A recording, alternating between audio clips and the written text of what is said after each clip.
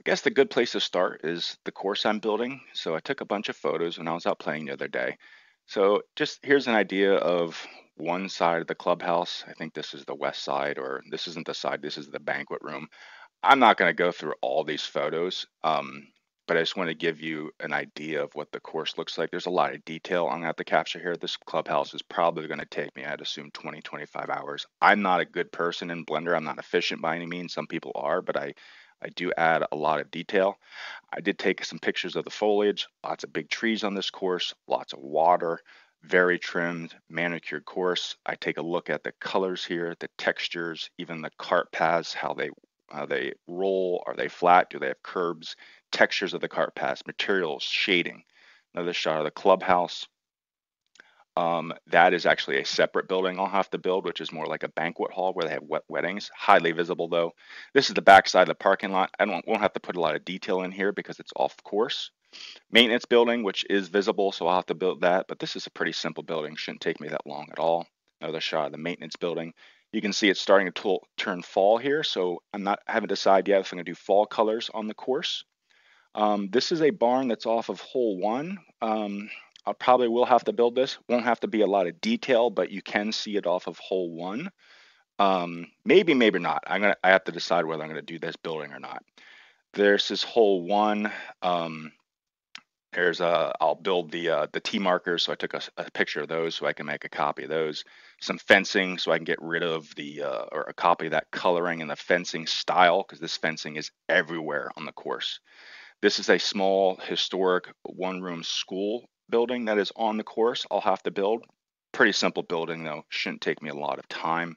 Another shot of that building, another shot of that same building. Some uh, stone fencing I'll have to build. This shouldn't be too bad. I have a tool called auto fence building. I'll have to figure out a texture, some rock.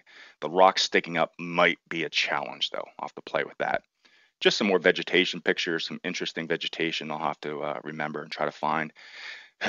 this is Milton Hershey's mansion this is going to be a beast to build. I'm expecting this to take me, again, 20, 25 hours.